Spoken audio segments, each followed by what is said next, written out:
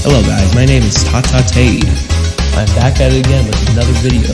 So I'm back here with the video on Five Nights at Mason's. Some friends told me this is a really cool indie horror game, so let's see what it's about. It a little scary though.